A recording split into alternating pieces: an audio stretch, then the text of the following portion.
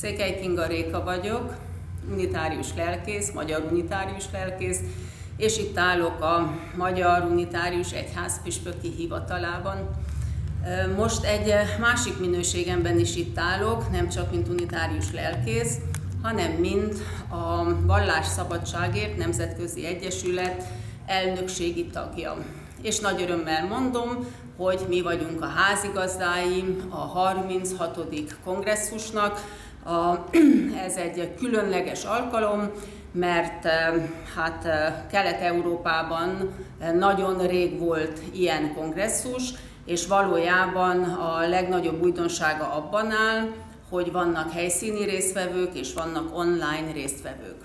A vallásszabadságért nemzetközi egyesületnek hát az alapítási dátuma az pontosan 1900, tehát 123 évvel ezelőtt gondolták úgy a szabad elvűbben hívő emberek, hogy a vallások között párbeszédet kell elindítani, és közös célokat kell megfogalmazni. A mai, a mostani kongresszusnak is valójában, hát ha szabad ezt mondani, ugyanaz a, a célja, ugyanaz a fő tematikája, eh, megbékélés hit által.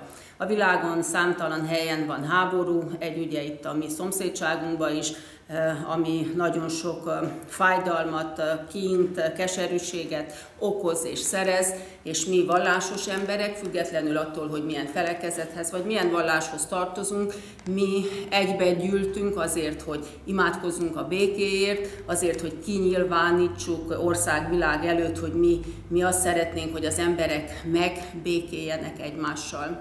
Körülbelül hány országból vannak résztvevők, és ki jött a legtávolabbról? Itt, aki ide eljött, úgymond Kolozsvára, és ezt mindig kihangsúlyoztuk, hogy Kolozsvár, Kluzs, Napoká, Klausenburg, úgyhogy mindenki tudja, hogy mit is jelent erdélyinek lenni. Körülbelül 20 országból érkeztek, a legtávolabbiak a japán testvéreink, akik két vallást képviselnek, a buddhizmust és a sintó vallást. Mind a két hát vallásfelekezettől elég szép számban érkeztek ide, több mint 30-an vannak, de aztán vannak az online résztvevők, és hát úgymond őket már detektálni is nehéz, hogy honnan vannak, de nagyon-nagyon sok országból, többek között Izraelből is.